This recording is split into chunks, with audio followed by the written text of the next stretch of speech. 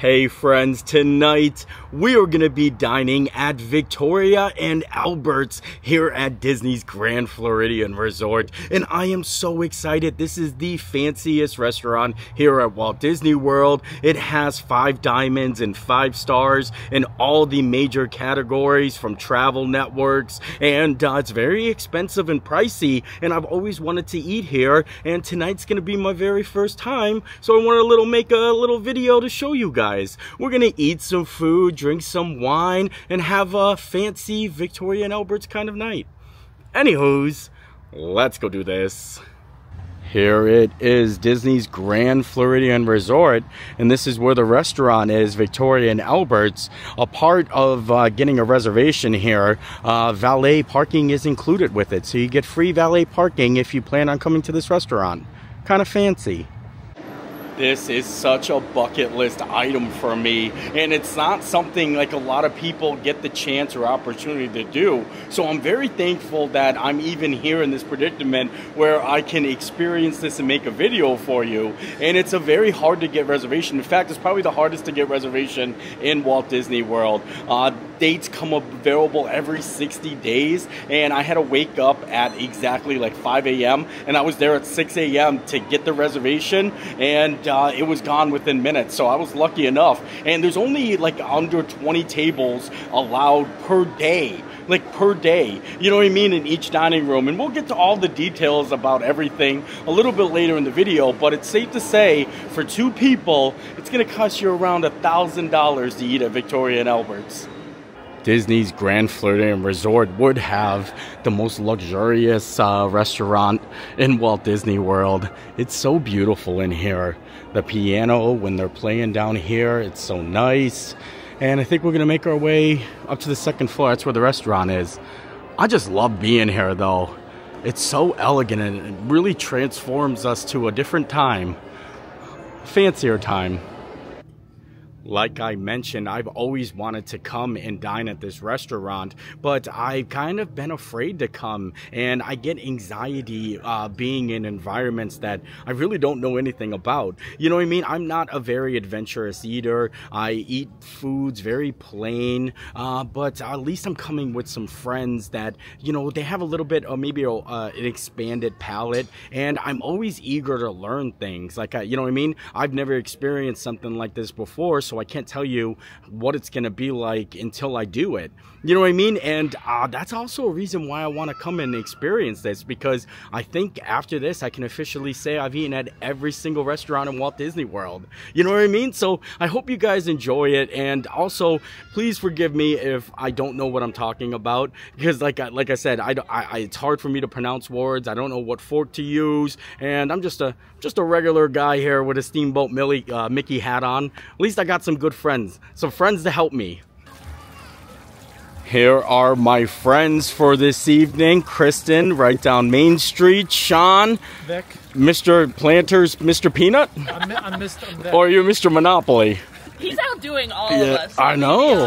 Here. This man, I mean, when we found out we were coming to Victoria and Albert's, there was it was no question what Sean was going to be wearing. The top hat, the cane, the suit with the tail. I mean, it of course, it had to be done like I mentioned, there's a dress code uh, that is strictly enforced. No, you know, ball caps. I'm gonna probably check that when I get in there. But if you have any questions, I'll put a link in the description, and it'll take you to the uh, Know Before You Go by Walt Disney World. They'll have the exact specs, price, and policies, just so you can reference them. Because, uh, like I said, maybe a lot of people might want to watch this video to see what it's like to actually come dine at a restaurant like this or Victoria and Albert's. You know what I mean? The the the, the top tier tier restaurant here at Walt Disney World. Maria and Chris from Lake Buena Visitors is also going to be joining us too. We are. Are we, first time? Your first time, right? First time. They've been trying for like 10 years, yes. never able to get a reservation. And yeah. the same yeah. reservation on the same day. Well, that's because of the 60, is it yeah, 60 days? 60 days. Yeah, because uh, so once uh, the, the day opened, yep. yeah, I was up at like 5 a.m. So we just happened to get up at the same time, at the same day. And, Great minds think alike. And picked, hey, let's go to great, yeah. Victoria and Albert's today, Nate. There are three different dining rooms here at Victoria and Albert's. They have the regular dining room, and then they have Queen Victoria's room, and then they have the chef's table, which is a private table in the kitchen. And they all vary on menu and prices. The the regular dining room where we're going to be eating tonight is just around $295 per person, and then it goes to like 375 for the Queen Victoria's room. And there's only four couples in there a night, so it's a very quiet quiet setting. And then it's about $500 a person for the chef's table. And that's all you, I mean, for you and your party, you're just in the kitchen talking one on one with the chef. And uh, I, I think it's really cool. And I know some people might think it could be expensive, but this is like a five to six hour event. Like you're in there for a long time and it's an experience more than just a meal. I know people that spend more money on Taylor Swift concerts, and not saying that's not a bad thing either, but uh, you know, it depends on what you can do and how much it costs cost to entertain you for a night. And uh, tonight I'm kind of excited to experience it. Do something uh, I've never done before. Inside Disney's Grand Floridian, you have the main lobby with the piano player, and it's very fancy. And on the second floor, you have Victoria and Albert's right up here. Very, very fancy walking through here. I like the rug and the carpet a little foyer. Yeah, very, very fancy. And as you can see right up there, Forbes uh, travel guy, Victoria and Albert's verified as one of the finest properties in the world, 2023.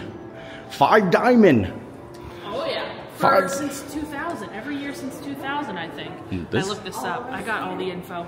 Very fancy we are going to be using very small cameras and microphones while we are in the restaurant. So it may sound loud, uh, but we're probably just going to be talking in our normal voices, and you're going to be able to hear, you know, everyone at the table, even uh, the uh, cast members that are going to be taking care of us because of these little mics. And the cameras that we have are no bigger than a cell phone. Uh, they don't have a big lens. It's very, very discreet, and I think it's perfect for this setting because I didn't know how to approach that. You know what I mean? Because it's a very intimate setting, and I don't want to be a disruption to anybody else. So for the most part, we're going to be very quiet, low key, with some fancy equipment, and uh, hopefully you guys enjoy.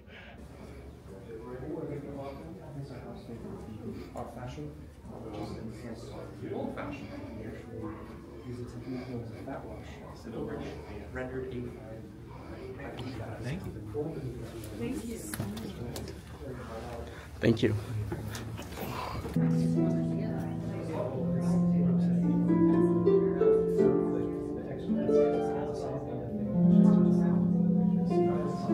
Welcome drink from our zero proof pairing this evening. This is going to be a warm apple cider. It's made with two different kinds of apples, some Chinese dates, a little bit of clove and cinnamon, but its main purpose is to help open up your appetite for the evening. Thank you. Cheers. Please enjoy. Oh. It tastes like Christmas, honestly. I thought it was, I honestly thought it was going to be coffee, but it is. It's so delicious. That is so good.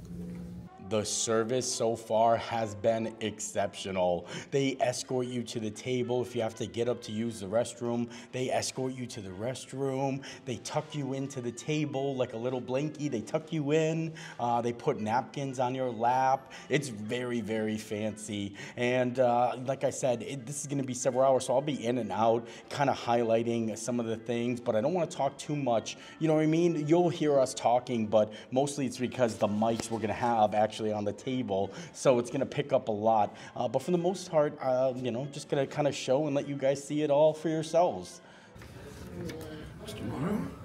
Wow, thank you. My pleasure. This is very cool. So please feel free at your convenience uh, to open your invitations to dine. Inside the envelopes tonight, you will find your choice of two menus. The first menu you'll see is listed as our dining room menu, which is historically served to the 12 tables here in our main dining room.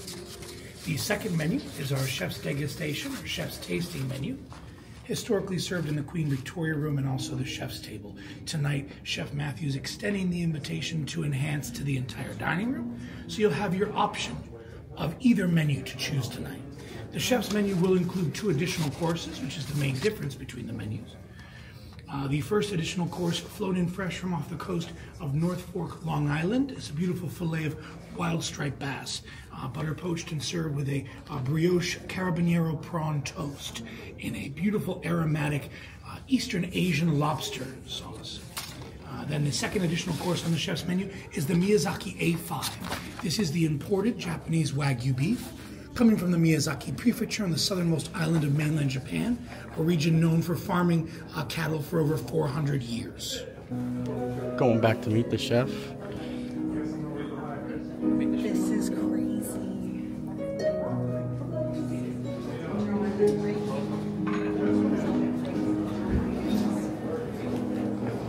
Oreo creation. Oh wow, it's so pretty. Beautiful, thank you. Every course has we change the menu. Uh, we also change the welcome drink for every season. Uh, Wow. So this is uh, the first dish. This is amazing. What's yours? Well, cheers, everyone. Cheers, amazing, thank you. Do you want to take a picture with Chef? Yes. All right. I don't know if we slip to Sarah. guys. So Chris, I'll have you. Um, I'm so excited for dinner.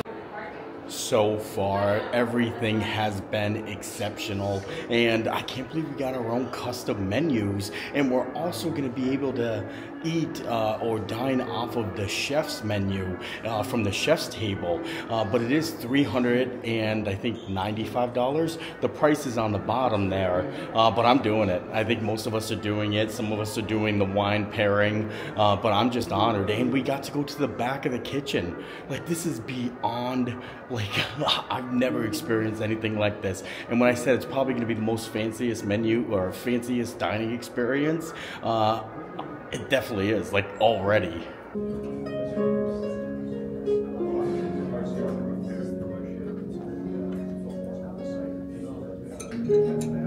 Oh man. There is a pit in your cherry. So you have the plate here for that, and a piece for your bacon, just in. Thank you. Now your cocktails are two-part cocktails. In your glasses, you're going to find the whiskey and the bitters. It's two parts. For the Hope Fashion, we have a saffron seltzer, which is meant to give sweetness to the cocktail. I recommend that you taste both of the glasses and then add the seltzer to the cocktail to customize to your liking. Is starting with a few small bites. Our chef has designed these bites to be enjoyed using your natural utensils. So we are actually going to bring some warm towels so that you can tidy your fingers afterwards. So if we start to the left, we are going to have a New Zealand langoustine tartlet. Inside of a cri- crispy Frito tartlet shell, you're going to find some grilled langoustine along with an avocado aioli. Along the top, you're going to have a carrot and mandarin veal. If we move into the center, everyone is going to have a Danish pastry called an aebleskiver. This one has been produced using some sweet potato. Everyone is going to find some preserved persimmon puree. And then four of you are going to have a lomo iberico on the, the top. For four of you, you will have a venison carpaccio sandwich. This reminds me of like the three shell method from Demolition Man. You ever see that movie? The demolition man. You remember he's like, you don't know how to use the You three don't know how to use shells. the three shells. I don't know. Left to right.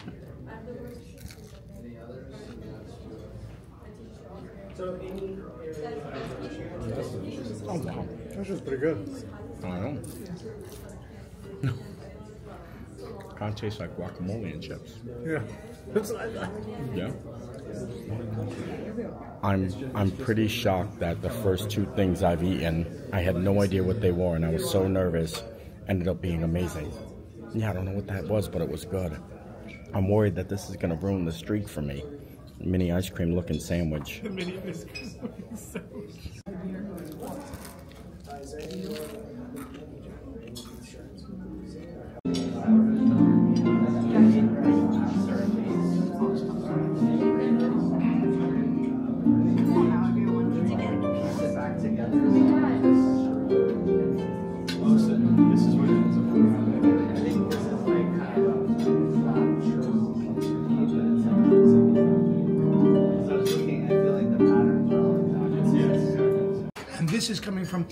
Area called the Montagne de Reims, which is a very uh, hilly and fertile region just to the south and west of the capital city. Uh, this is a region uh, that's famous for growing the Pinot Noir used in some of the uh, most exceptional wines um, in the world, Dom Perignon. Sorry? I love that one. So they actually uh, grow Pinot Noir, uh, Chardonnay, and Pinot Meunier all in Champagne, and those are the three building blocks of, uh, of Champagne. I found a nice little corner over here. Uh, so whenever I step out, you know, I'm just going to give you guys a quick recap. If not, I'm just letting the camera roll and catching just, you know, our discussion with the servers and stuff like that. I really don't want to dive into specifics or anything like that. So mostly when I'm talking, I'm either talking to other people sitting at the table and not talking to the camera, just kind of listening. I've been taking it all in a lot. The music is kind of beautiful, and I love the sparkling water. Like I love how you got fancy water. I wish it had the really cool water, the uh, the uh, Salbarte, I think it is. It's like glacier water, but they don't have any. They're out of stock. It's okay. I got some at home though. There it is, the Vichy Catalan. Fancy sparkling water here. I've never seen anything like that. So me and Nate got a pairing. Thank you. Here is the Vichy Catalan for you, coming to us from Spain. Mm. Yes. Fancy water for Spain from Spain for our beef at the end. The Spain was. Huh. If you wanted to taste it, just to make sure that it was to your liking. You want get something different? Oh. Wow. Did you like it? I love it. Bubbly Perfect. blessed.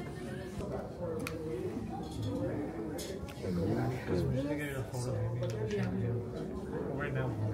The caviar has arrived. We have for you Royal Belgian Osetra caviar.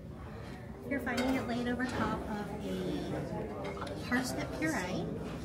Four of you are going to find some smoked bone marrow along with that parsnip puree.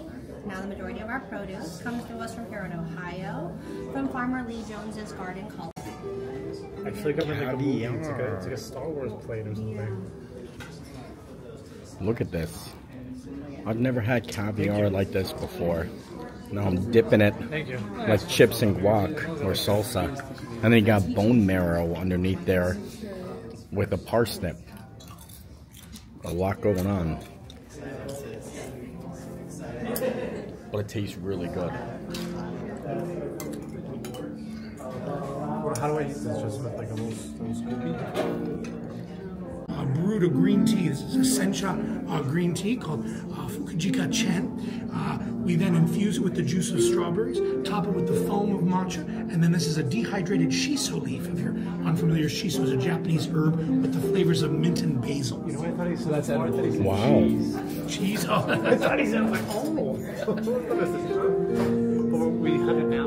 So you, you- you're welcome to it. It's technically the pairing with the course. You're welcome to enjoy it now. Have a little sip. That is But also enjoy it with the course. Wow. Definitely. Uh, this. Uh, the menu itself has everything laid out. And honestly i, I can't understand like I, I some of the uh, you know words that they use to describe the food i really don't understand. Uh, so i'm just like going at it. And the first two things that i bet i was like i have no idea what this is. It was just presented to me and i took a bite and i loved it. First one i was like wow. And i'll put a list of like the menu. I'll show you. You've seen a little bit of the menu but uh, I'm like, wow, holy moly. Like, I was so afraid. And then I was like, this is really nice. And then we got to the third thing. Wasn't that great, but you know what I mean? Like, there's going to be some things I like and some things I don't like because I, I, you know what I mean? I've never, I don't eat, you know, fancy stuff. It's going to be exciting when I get to the quail. I want to try the quail. I like quail, I think.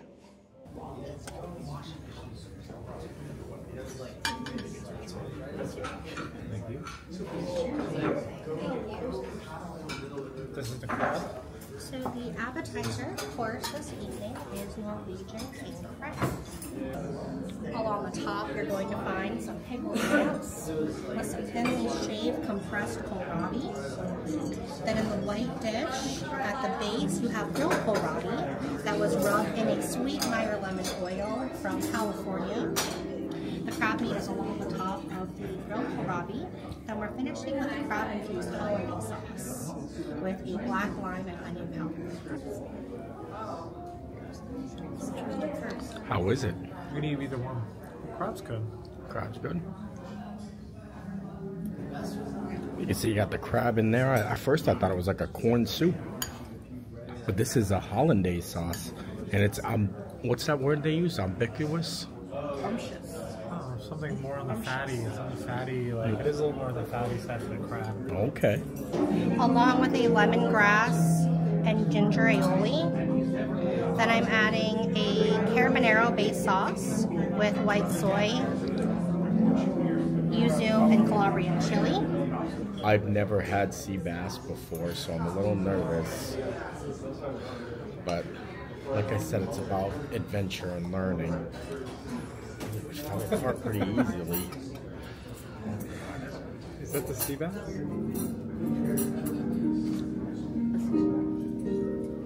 like it. It's good, isn't it? Yeah. Very buttery, almost like a like a lobster. like a lobster. Like a lobster. Usually don't like fish. Of course, this evening we have pasta. It was produced using something that looks like a dowel rod with a wooden block. Similar to the process in making gnocchi, our chef is taking the pasta and rolling it across the wooden block, allowing the grooves to form in the garganelli. It has been dressed in a cauliflower puree. You're going to find some romanesco and cauliflower along with it. And then we have Santa Barbara uni. So you have the raw piece along the top, along with an uni butter finishing the pasta, with some of it cured in the style of a bottarga with some yuzu and chili, Calabrian chili. Pistachios over top of the charred. Wow. Some sorrel and beans spinach. Green sauce along the top is going to be chicken stew. Then we have a green puree in the middle that has a base of Castelvetrano olives, along with Bronte Sicilian pistachios, with Parmesan, burrata, and green garlic. Please enjoy. Thank you so much. It's a charred leaf with some lamb belly bacon and crushed pistachios. Okay, thank you. My pleasure. Personally, I don't think anything is gonna live up to that A5 Wagyu at the end. And it's kind of sad because we have to wait to the very end to actually get to it. I've had A5 before in Epcot, and uh, so far, I mean, I really loved uh, the uh, pasta was really cool. And it's cool that, you know, we heard a little backstory about how it's from Hoboken, and that's where the Roosevelt's team is. The chef, you know, got some inspiration there. And then also the lamb chop. I've never liked lamb before. I've never been a, like, I've never been a fan of lamb, and that was one of the best things I've ever eaten. Like, if you you realize how amazing that is, like that's like someone saying they don't like a certain like item and then liking it because of how it was prepared. Like, there's I don't think there's any place on the earth I'm gonna be able to like lamb like I did tonight, and that kind of boggles my mind. This is Palmer and Company. This is coming to us from the Reims, a uh, very fertile and hilly region that surrounds the capital city. Thank you. So next we have for you French quail breast and Ora King salmon.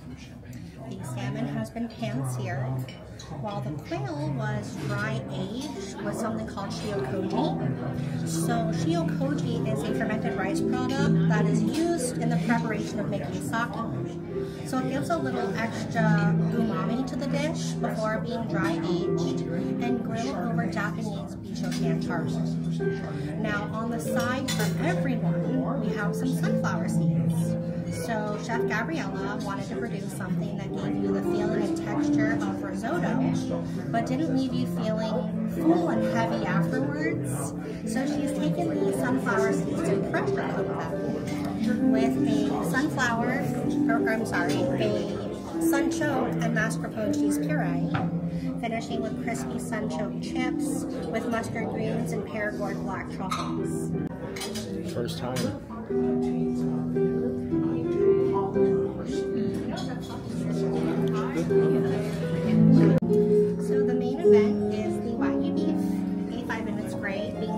Of Wagyu available.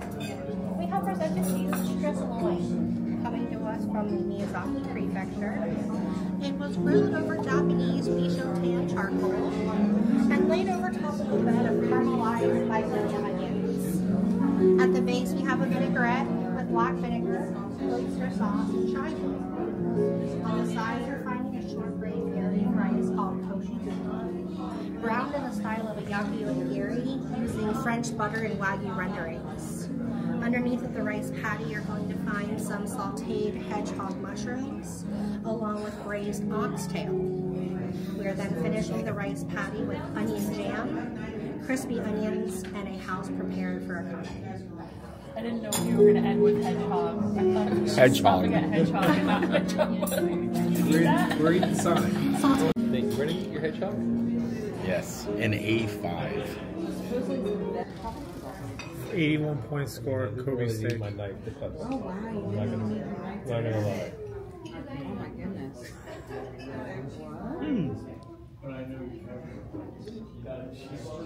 lie. My. That's good. I'm about get another one for that other big steak. Well, you I might get six. I didn't mean Maria to make be a on steak. six too. number six. Oh my lord. I did. I ran out. I'm so sorry. I accept the sticker. We gotta sit on That's amazing. I think me. Line of the night. Acclimate your palate from the savory to the sweet. This looks like a beautiful. And so I will wish you all uh, a little belated, but a very happy Fastelavn. Uh, is the celebration, uh, very similar uh, to a Mardi Gras, but uh, in the in the Nordic countries. So this uh, the holiday happens on the Sunday before Ash Wednesday, and as opposed to wandering around a French Quarter drinking tons of hurricanes, uh, the people of specifically Denmark will actually travel to all of the bakeries in their town. Each bakery will have created a, a different kind of ball for the Fastelavn festival, and so this is technically a Fastelavn bowler. And so our Fastelavn bowler is based on the idea of uh, pretzels and beer. So we take a pâte à choux, a pastry, uh, we then uh, cut it in half and fill it with a caramel sauce that's made with milk stout beer, pretzel ice cream, and malted corn flakes with a little bit of 23 karat gold leaf powder. So it's meant almost as a little ice cream sandwich. And uh, let me tell you, uh, I, I hope you enjoy it because I know you will. Oh boy.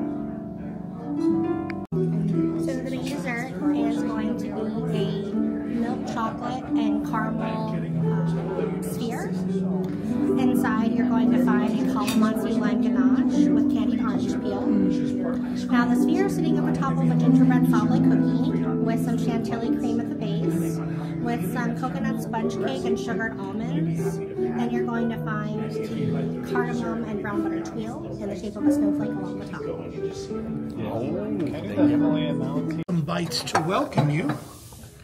We will conclude this evening with some bites to say goodnight, say thank you for joining us, and just enjoy some last Thank you. uh, beautiful flavors here of our courtesy of our pastry team. Oh, they look amazing. So I'll place these here. Are those little mandolines? So we'll start there, if you like, uh, on top of the high pedestal.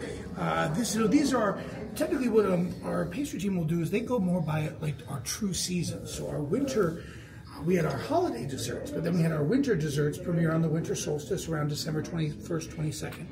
And so that was, of course, the first day of our uh, snowflake and a citrus wonderland, which was our dessert that you just enjoyed. And now we move, of course, into our winter friandises. Now, as I said on the elevated plate, uh, I'm sure you're all familiar of how important gingerbread is uh, to us here at the Grand Floridian during the holidays and during our winter. So this is our uh, gingerbread Madeline uh, to uh, uh, for you to enjoy.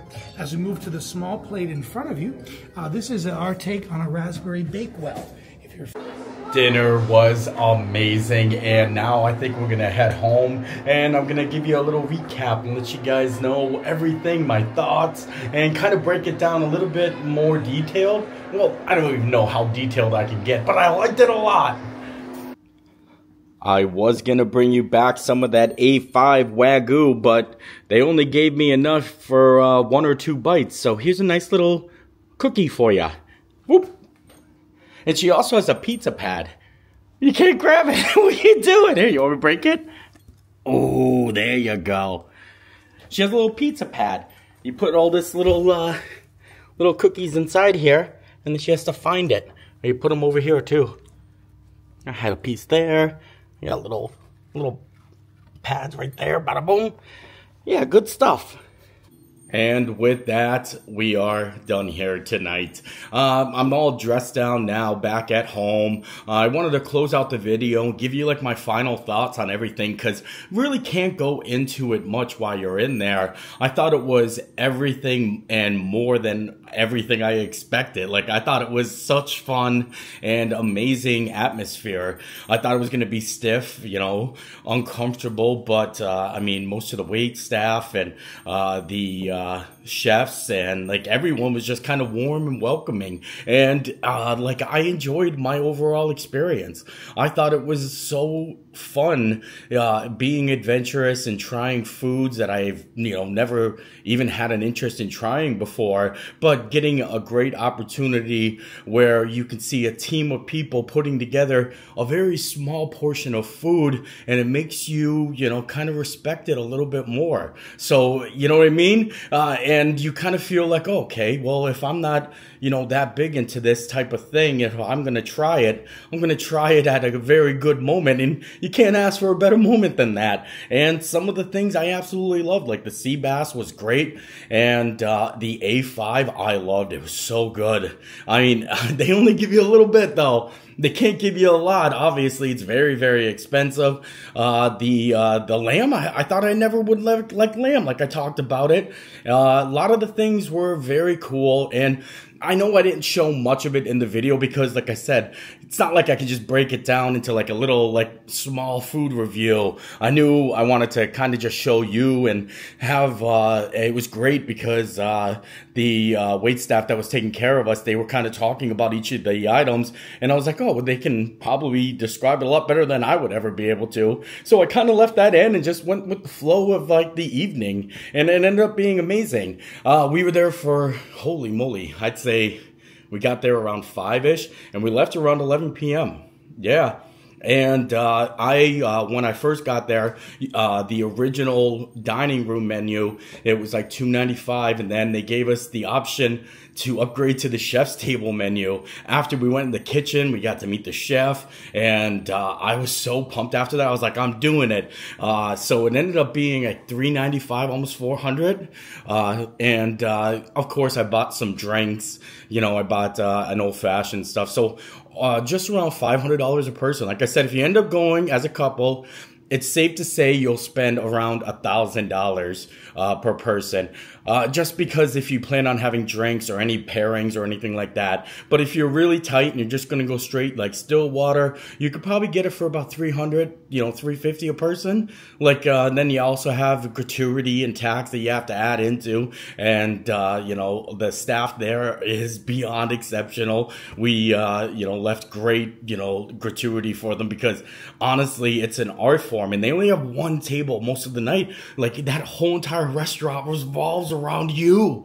The whole entire restaurant. There's only like 12, 12 other tables in the restaurant and they're not like getting up and leaving and like going like other tables are coming in. Like we're here and we're there for like several hours. So you got to make sure you take care of them because it was like, I felt so amazing. And like I said, even if, you know, a lot of people now that's like probably the most expensive dinner I've ever bought and uh, like I said I definitely will remember this as a night of memorable moments.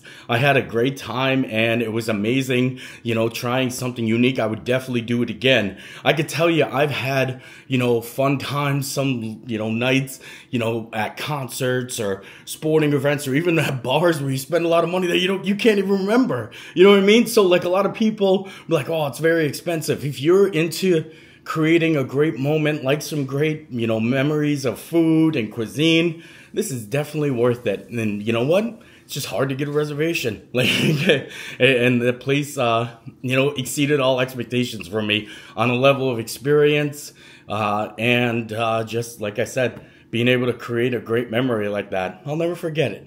So I hope you enjoyed the video. I enjoyed making it, and uh, we'll see you next time. Bye.